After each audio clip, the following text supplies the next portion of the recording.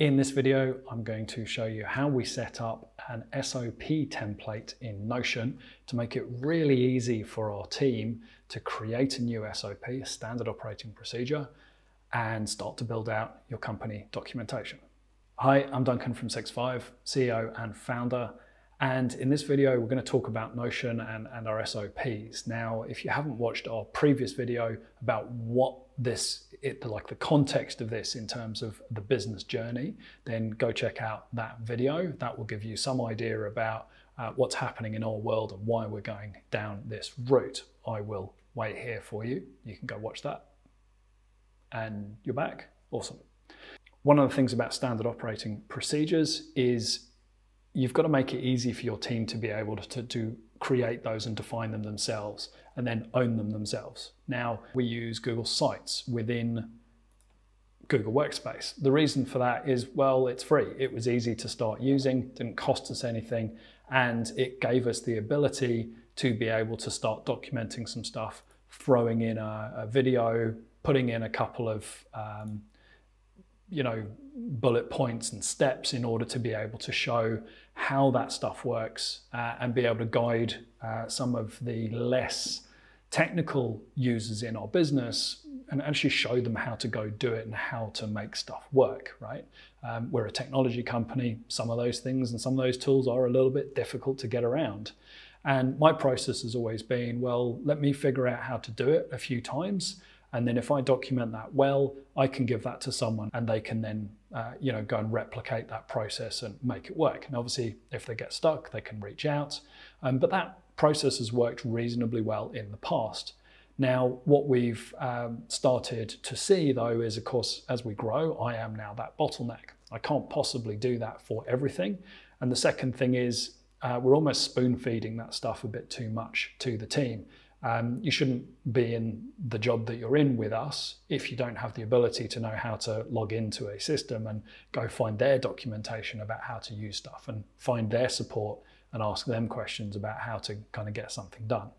So as part of this journey, we're going to start moving our procedures out of Google Sites and in that process, simplify them slightly, write them a bit better so they work uh, a bit better, now, the other key thing uh, to this journey is that in Google Sites, you don't have any ability to have any sort of authorization process. There's no ownership or review process in it. It's literally just a page. I mean, it's a very, very simple website.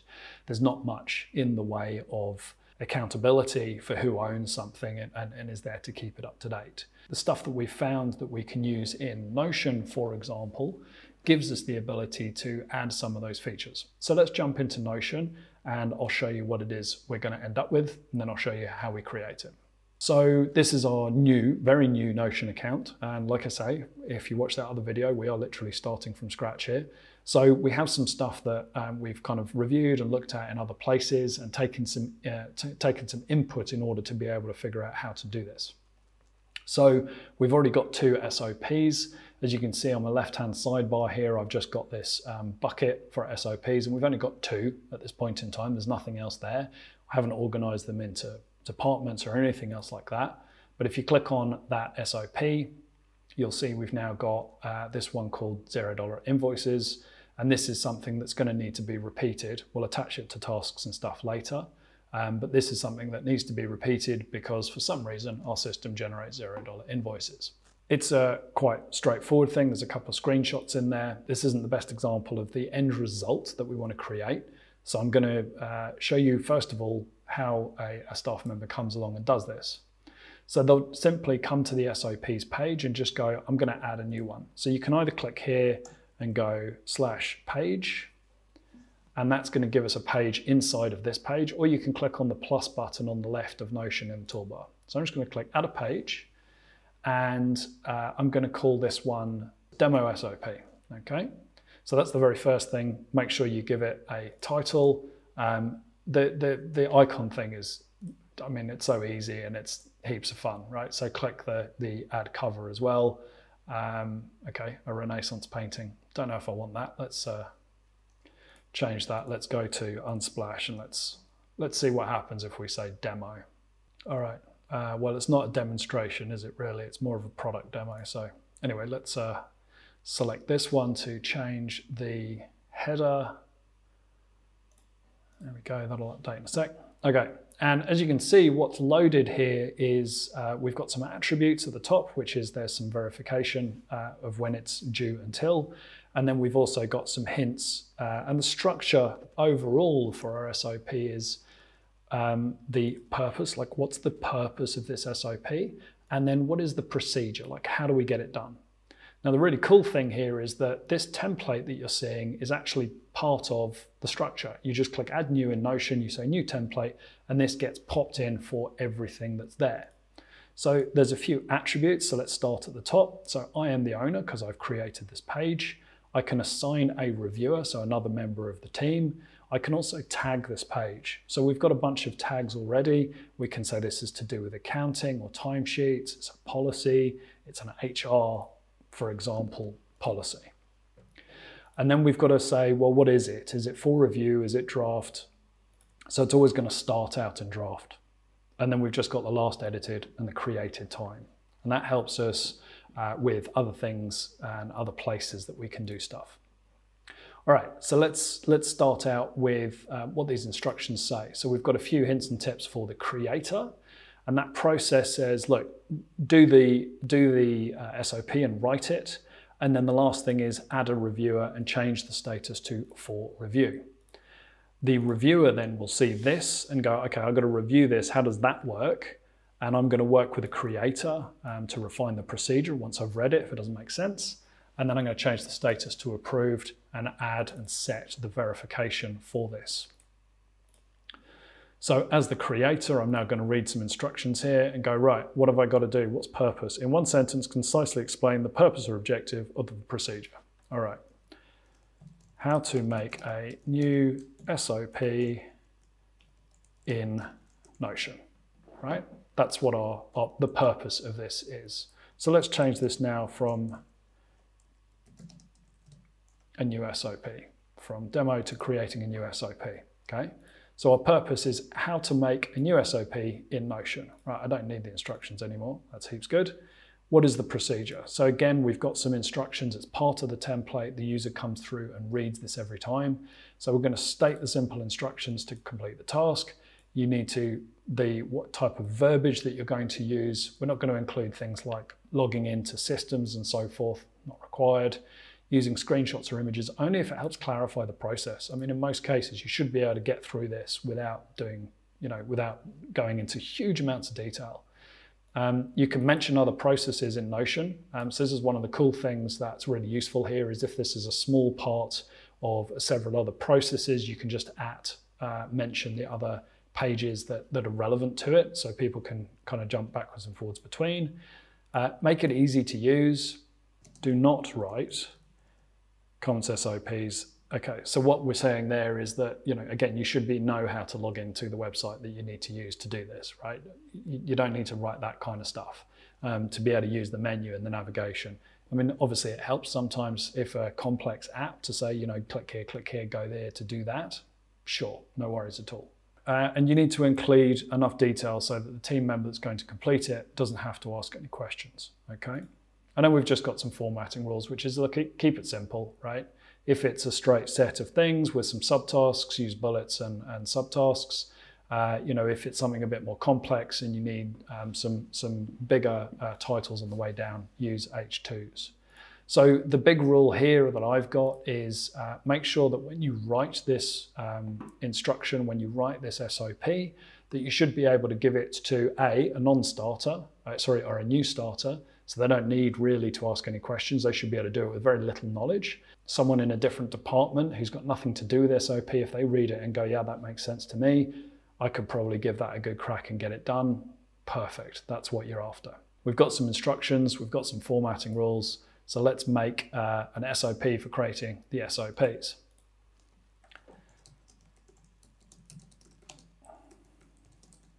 So first up, we want to say in Notion, find the correct place to start your SOP. Use the left sidebar to find the correct location, right? Um, now I'm new to Notion, there might be a better way of doing this. At this point, I don't know yet. So I'm going to do what I can what I can explain today. And that's one of the great things about these SOPs is they can change over time and they probably will change over time. And I've got a little plan to take those those changes and move them into like a what's new on the company dashboard. So again, we'll come to that as we move forwards. Then we're going to go um, create a new page, either by clicking the plus icon next to the parent or uh, or on the page hit forward slash page to create a new one. All right, either way, in the pop-up, you will see a list of templates to choose from. And so what I'm going to do is I'm going to uh, illustrate this just to make it nice and easy. Let's get my little screenshot tool up. There it is. Okay, cool, screenshot. Uh, I can give this a little arrow if I want, why not? There it is. Let's pop another arrow in here. We're going to do that to select those. Click on copy. Uh, in the pop-up, create a new one. All right, so there's our, there's our um, uh, image is going in there, perfect. And then what I also want is I want a picture of the next one, which is this bit here. So here's my new SOP, and I'm going to uh, screenshot that so that you get some context about what's exactly is going to occur. And then we're going to select the SOP template. So again, I'm going to copy that. Uh, I actually don't need to keep this one, so I'm going to delete that page. And then I'm just going to paste that in here. Select standard operating. All right, so that'll create the new page. All right, so now I've done this, okay, and now my, uh, so I've done that. I've added an icon and a header, or let's just change our reposition. There's our man getting his getting his demo on with his um, uh, 3D goggles, virtual goggles. Change the icon, add a header, add the purpose and procedure. There's the purpose, I've done the procedure. Add tags to the page. Um, so I probably need to put some better tags in, which is, I'm gonna create one actually called documentation, documentation, there we go, perfect. And then I'm going to add a reviewer in a stack I'm going to change the status to for review. So let's do that. Documentation draft, I'm going to change that to for review. And I don't have anyone else in this workspace yet, but that's going to now be for review. So um, we are in a good place. I'm going to remove the verification. So that's me now creating an SOP from that. But how does that template actually get created in the first place? So let's come back to our SOPs. And what I'm going to do is hit slash, click new page, and here's our template. Now what happens here is when you create a page, you can make it a template. So I can click on new template to create one, and then I can call it SOP and I can add all of that content in here. Uh, I'm going to, oh, there you go. See, now I've got a, an untitled, so I can get rid of that. But what I'm going to do here is I'm going to click on edit for my SOP. And whatever you do in this template, when you create a new one, it is going to use those defaults. I had an attribute that was already defaulting the verification date, which was not actually correct. So I need to um, customize that page and I want to uh, show the verification. I want to show the owner. So again, you can see we've got some properties uh, in the Notion page and I also want to show the verification and I probably also want to show the tags. All right, so those are the key bits of information that I need on every single page. I want to know who I need to contact if I get a problem with this. I want to know what those tags are. I want to know what the verification is. There's one thing I'd like to add to this is if there's a video. Uh, so I'm going to just add a little section to this just so you can see how I put this together. So uh, I've made an H2 there. Uh, now I want a toggle list and I want another toggle because oh, well, actually, let's just do this first. Inside instructions, I want some text.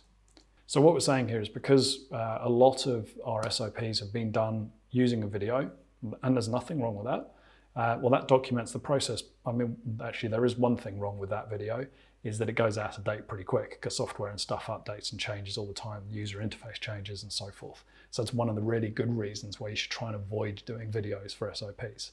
And that's why I'm gonna, uh, in here, I'm gonna hide it. Okay, so that's the first thing. I need that uh, there is a video and embed it uh, in the collap collapsible uh, area below, okay? All right, the second thing I need to do there is I wanna have the video transcribed. So transcribing a video is really important, especially in Notion. Now the reason for that is that uh, having the transcription allows that content to then be searchable. Might not necessarily be in the bullet points, all of that information, but it allows it to be searchable. And that is key when you're using the search bar in the top left of Notion, right? Uh, if you've got that content inside of the page and you go, I want to search, you know, a video about SOPs, it will also use that transcription as, as something that is a potential search result. Um, that's going to be really key for us moving forwards as well when we start looking at uh, using our SOPs and documentation to potentially train a chatbot as well um, for internal support, for sales, for other things like that too. So I'm going to make two toggles here. I'm going to use a uh, emoji. So I'm on a, a, Mac, so I'm going to push Control, Command, and Space. I want a, a video icon. Where are we? Oh, you know, why not? That one will do. Put a space in there, and then I want a transcription icon. So I want a script icon, maybe. Does one of those exist? Journal, perhaps. Yeah, there we go. That'll be sort of like a, a script, wouldn't it? It's not the best. It'll do. There we go. So then we've got the video and transcription. Finally, I want to tell people, look, if there's no video in there, we'll get rid of the SOP as well. I just want to get the instructions and I want to change the color on that as well because I'm been using sort of this pink color as the, oops, no, not like that. I don't want to change the color to pink. Let's go back to default there. Let's change the background color, there it is, to pink. Okay, happy days. So now I've got a video with instructions, the video and the transcription. Now, because I've made those changes, and I don't have to do anything else now. But if I now come and create a new page, click on SOP, that is now going to load and you can see the tags are empty now, the verification is empty, and we've now got that video content, those instructions are already there. And if there is no video on this particular page, we go bang and delete it. All right, that has not changed my template, by the way. I know this one is, is named the same, but this is actually a new page. So if I come back to SOPs and I go slash page, add a new page, I can now click on SOP. It will name it as SOP, standard operating procedure. It names it as the template. So that's the first thing you're gonna do is change it because otherwise you're gonna end up with 100 of these. So now I've got my SOP page, I've got my template. I can now give this to uh, our team and say to them, right, start pulling those SOPs we have in Google Sites, start structuring them, creating those pages inside of this bucket in this particular place in Notion, and let's start getting everything transferred so we've got some ownership to it and it's easy, more, much more easily searchable. So I hope you found this useful. This is, like I say, part of our journey in uh, sort of uh, tech transformation, I guess, for a tech company as well. You'd think we'd have all this lined up, but we don't. If you found this useful, uh, I will link the Notion template below so that you can pick that up if you want to use it. And thanks very much for watching. Please like and subscribe below, and I'll see you in the next video.